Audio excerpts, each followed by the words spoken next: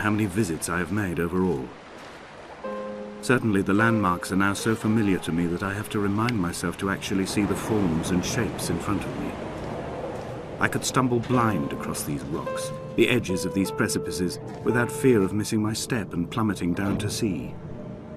Besides, I have always considered that if one is to fall, it is critical to keep one's eyes firmly open.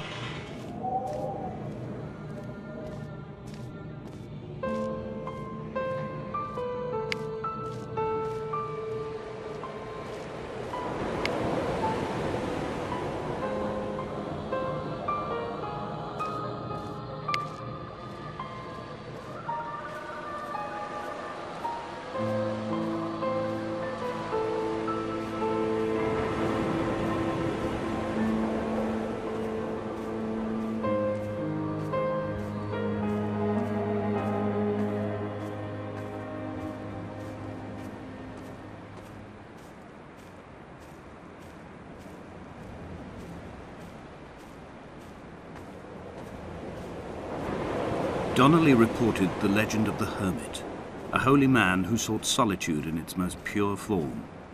Allegedly, he rode here from the mainland in a boat without a bottom, so all the creatures of the sea could rise at night to converse with him. How disappointed he must have been with their chatter. Perhaps now, when all that haunts the ocean is the rubbish dumped from the tankers, he'd find more peace.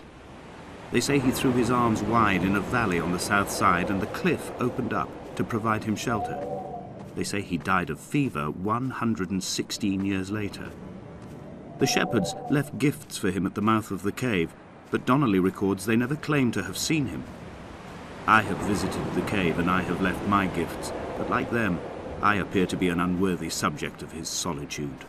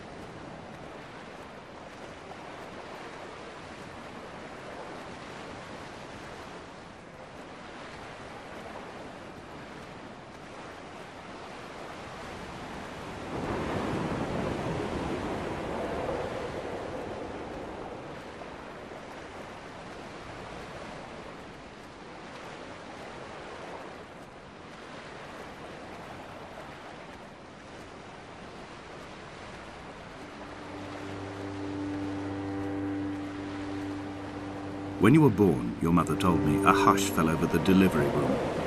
A great red birthmark covered the left side of your face. No one knew what to say, so you cried to fill the vacuum. I always admired you for that, that you cried to fill whatever vacuum you found.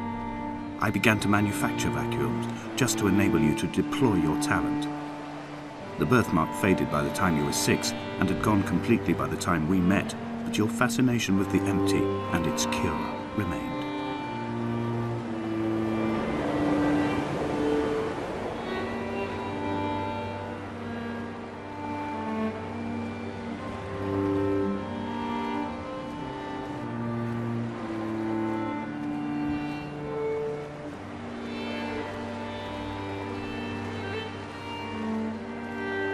Dear Esther, I found myself to be as featureless as this ocean, as shallow and unoccupied as this bay, a listless wreck without identification. My rocks are these bones, and a careful fence to keep the precipice at bay. Shot through me caves.